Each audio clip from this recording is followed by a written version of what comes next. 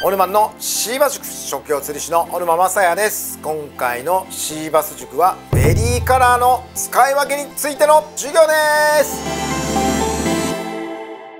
ベリーカラー。シーバスが下から見上げた時に実は一番気にする場所なんですよね。だからデーゲームとか常夜灯下手すりゃ真っ暗闇そんな状況でも実はこのベリーあるなしで超果に実は雲泥の差が出てしまう恐ろしいカラーチョイスなんですよ。ただこの配色がね間違っては釣れなかったりするんですけどその配色パターンを間違わなければ自分だけ爆釣できるのがベリーカラーの使い分けだと僕は思っております。このベリーカラー意外と気にしていない方が非常に多いです。今回の授業は、えー、ぜひ皆さん参考にしてみてください。ではいきます。ピンクベリー系ですね。このピンクベリーが効くのはイワシ河川だとイナッコ海だとイワシ。この白あとバチ系っすね。シーバスに捕食スイッチを入れてくれるもうね。手っ取り早い、えー、ベリーカラーがこのねピンクだと思っております。これはまあチャートピンク。こういうブラックピンクとかあとピンクホワイトとかあとホログラムピンクとかね。いろいろあるんですけどコントラスト。これが出やすい感じの激濁りの時は僕このピンクチャートをあえて使います。ド派手なねコントラストも非常に有効になるんですけど基本的にはこういうベイトフィッシュこういうボラとかのピンクベリーっていうのは非常に海では効果的なのでベイトフィッシュカラーにピンクベリー。まあここを選んどけば問題ないと。ただねこのピンクベリー系を海で使うと難点が1つあります。それはですね無駄にクソでかい青物にかかってプチンって切られることです。でかい、えー、青物が回遊してくるだろうエリアではちょっとピンクはあんま投げない方がいいかなと僕は思ってます。ただねシーバスがいなかったらベイトカラーにピンクの配色もしくはバチ抜けではド定番のブラックピンクベリーっていうのは効果的。もうバチ抜けだともうブラピン。僕の中で絶対必要なカラーなのでこのピンク系のカラーのベリー必ず用意した方がいいと思います。オレンジベリー系です。僕の中で、えー、まあ一番多用しているのはですね鮎です。もう川の鮎。もうこれ敵名ですね。これもねバーストアッパーの鮎カラーなんですけど例えばこういうトリックアッパーであったりクロスカウンターの鮎カラーであったりスラップヒッターであったりあとこういうアベンジャーであったりね。もうてきめんです。河川のナイトゲーム、えー、デーゲーム鮎を食ってるシーバスは明らかにオレンジベリーのが食う一緒に並んでやると差が出ます。僕の中ではま絶対に効くのはオレンジベリーは鮎だと思ってるんで一番いいベストな配色はこういうスケパール系スケパール系のパールオレンジベリーが一番ベストだと思う。もうだから僕の、ね、ルアーの中でスケパール系のオレンジベリーもしくはエメラルド鮎と言われてるこのカラーラインナップですね。鮎リバーでやる方にはぜひねこのオレンジベリー系のルアーは必ずチョイスしてください、ださい。えー、配色パターンコントラストはパール系にオレンジもしくはシルバー系にオレンジみたいな感じでやっていただくのがいいかなと思います。あとねオレンジといったらね僕の中では絶対外せないこれですね黒金。もうね黒金はオレンジとベストコントラスト賞ですね。このね配色はもうアイクってやつもてきめんにきますね。水が濁ってる時も効きますしあと落ち合の時あと夏とかなんかこれよく釣れるんですよ。オレンジ金はね川では僕の中で土定番のカラーなので特にこの黒とオレンジのコントラストはね素晴らしく抜群に効くので、まあ、これはねボラでも効きます。まあ、水が濁った時なんですけどあゆ川のボラもうスケパール系で反応ない時はねオレキン使っていけば問題ないのでオレキンがすごいところはアベレージサイズが上がるっていうことなので80前半って結構いろんなカラーで釣れるんですけど85から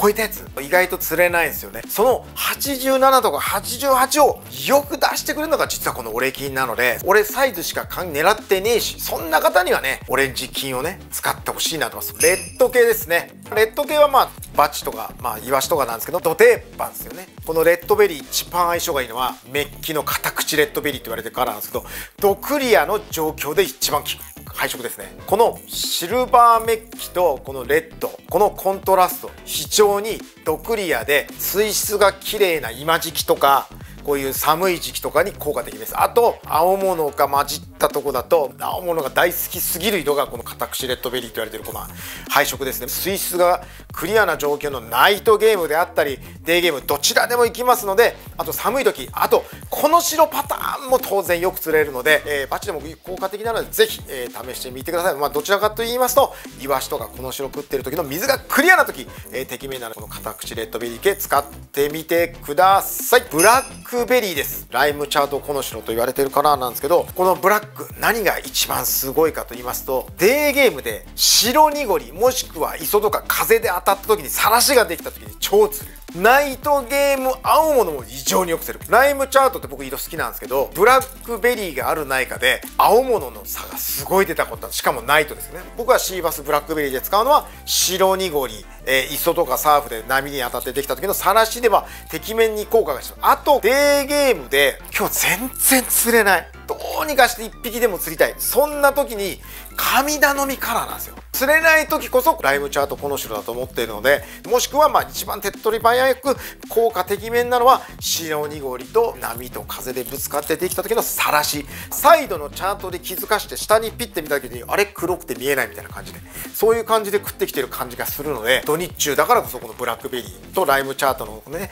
この配色が決まるカラーなのでデーゲームで白濁りさらしもしくは全く今日は反応ねえなと。でもなんかベイトいるので釣れねえなとあとナイト青物やる方、えー、ぜひライムチャートこの白カラーを使ってみてください。かなり白濁では効果抜群のカラーです。チャートベリーです。これはですね水面が荒れてる時ですね。爆風とか激流とかあともう土砂濁りの時ですね大雨の後とかで川が濁った時とかあと排水からのね土砂が流れ込んで水がもう抹茶色。そういう時に効くのがね特にベリーの黄色系なので水面を浮かべてる時土砂濁りの時この黄色のチャートベリー非常に効果的なのでそういうとこで使っていただければいいかなと逃れでもチャートベリーがあるんですけど水面がやっぱ荒れた時、えーと、雨で土砂濁りになった濁り始めとかそういう時に効くのがこのチャートベリーなので試してみてください。配色はまクリアチャートもしくはシルバーとか銀粉系のも効果的なコントラストなのでこの辺のものを選んどけば問題ないかなと思います。パールベリーまあこれまあナチュラルカラーで多いですよね。ボラカラーであったりあゆカラーであったり。A ゲームでやっぱベリー光った方がね反応するやつも実は多いんですよね。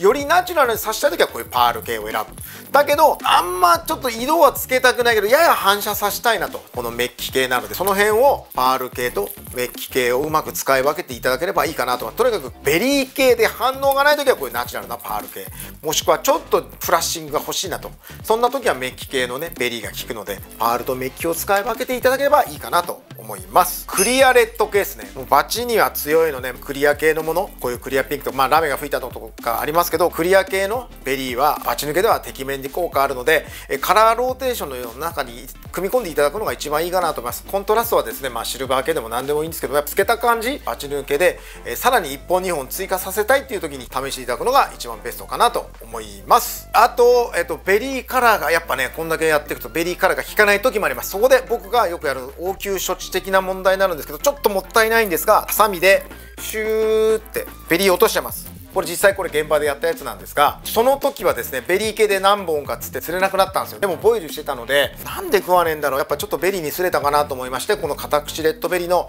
赤いレッドベリー部分をハサミでヤスリのように削ってやったら釣れたので応急処置的なことができるのがハサミのこのね角の部分でベリーを落とすっていう技もあるのでベリーカラーがない時応急処置的に使えるのでこのベリー落としっていう技もあることを、えー、覚えてて損はないと思います。概要欄におすすめのベリーが効くカラーを載せていますのでチェックしてください。そしてカラーについてのマル秘チューニングの授業をシーバス大学では公開しています。ちょっとしたアイテムで簡単にできて効果抜群のチューニング方法です。になった方は概要欄かここをクリックしてください。チャンネル登録もお願いします。おすすめルアーの発売情報や新作動画をお届けします。